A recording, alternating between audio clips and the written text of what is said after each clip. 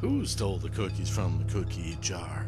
Bobby stole the cookies from the cookie jar. Who, me? Kid and B? I was down under fighting crocodiles, not messing around with some stupid cookies. It was Cynthia.